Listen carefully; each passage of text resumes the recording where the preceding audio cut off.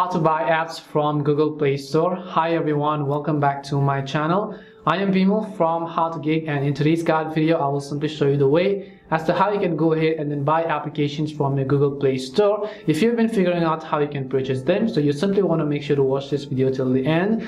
Now keep in mind that depending upon your region Google Play Store might accept different types of payment methods. Just in because in my case I have PayPal. Does not mean in your region as well you'll have the PayPal option. In my case you could have only debit or credit card options. So what you want to do is first of all go ahead and launch the Play Store application and make sure that you navigate to the correct app that you want to purchase because obviously there will not be any type of refunds or anything else. So just go and search for the app that you want to download. You'll also see the price right next to it. You can see the one i'm going to download is actually the nova prime which costs only 0.05 dollars which means only 5 cents.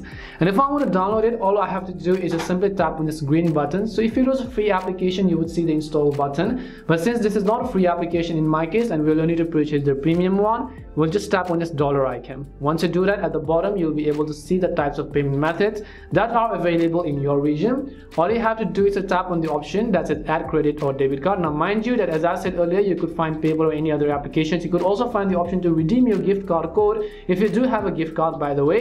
So in this case i'll just choose the option called add credit or debit card. Now once you do that you have to simply enter the card number. It could be on the front or the back side of your card now once you enter your card details, it will also ask you to enter the CVC number along with the expiration date of your card. When you do that, you'll also enable other optional options such as your country, your local residence address, as well as your street address, your flat city, postal code, and so on. Make sure all of the information is correct. Once again, make sure of your transaction and also check the card number just in case. And as you do that, just tap on the save button which is at the bottom of the screen. Now it may take some time to add this card to your Google account after the card has been added to your Google account. Now you can go ahead and redirect to that specific specific now you can see one tap buy. Now depending upon the application because in this case this is a lifetime access i do not have to subscribe to it each and every time that i want to download this. So it means that as long as you have your google account credentials with you the google account is very important in this case because even if you lost your phone and you log into that same google account on another phone you will have access to this premium application for your lifetime. So all you have to do is tap on the one tap buy option which is at the bottom of the screen.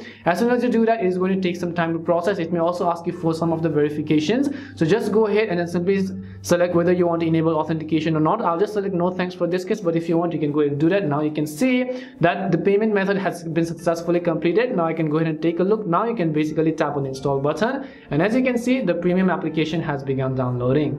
And that's all it takes to buy premium apps on google play store. We hope the video was really helpful. And if it did help you make sure to leave a like and subscribe to our channel. If you have got any more questions feel free to leave them down. Thank you very much for watching and see you soon in our next video